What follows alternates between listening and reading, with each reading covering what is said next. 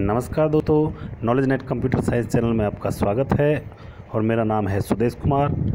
दोस्तों N T A NET ने N T net ने आपके एडमिट कार्ड जारी करने के लिए दो तारीख रखी थी। एक तो तारीख थी पंद्रह मई और एक तारीख थी सत्ताईस मई। लेकिन वो दोनों ही तारीखों में एडमिट कार्ड अपलोड नहीं करा पाई है और अभी तक आपका एडमिट कार्ड नहीं आया है। आज अट्ठाईस मई है अट्ठाईस मई की मॉर्निंग है, अभी तक आपका एडमिट कार्ड आया नहीं है।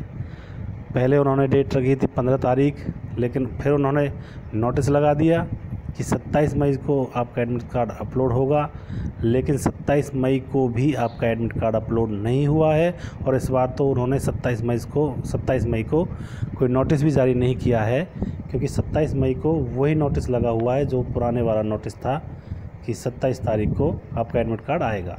तो दोस्तों उन्होंने कल यानी कि 27 तारीख को लिंक तो प्रोवाइड कर दिया था एडमिट कार्ड का, लेकिन उस लिंक पे अगर हम क्लिक करते हैं, जैसे कि मैंने इस पर क्लिक किया तो वही पुराने वाला नोटिस यहाँ पे ओपन होता है, जिस नोटिस नोटिस में ये लिखा हुआ है कि 27 तारीख को आपके एडमिट कार्ड अपलोड कर दिए जाएँगे। लेकिन आज 28 तारीख हो गई है, अभी तक आपके एडमिट कार्ड आए नहीं हैं। हो सकता है आज शाम तक आ जाएँ, हो सकता है एक दो दिन और लग जाएँ।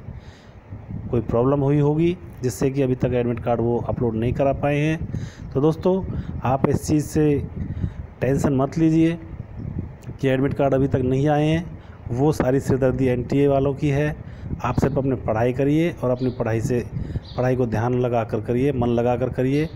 एग्ज़ाम आपका नज़दीक ही है, बीस तारीख से स्टार्ट होने वाला है, बीस जून से। तब तक आप अच्छी तरह से पढ़ाई करिए। Best of luck. धन्यवाद।